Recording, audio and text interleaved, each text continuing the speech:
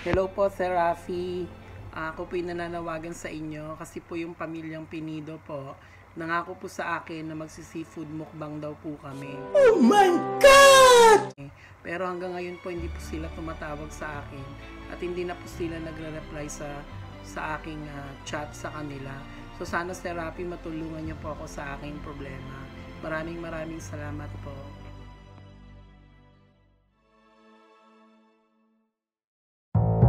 Thank you.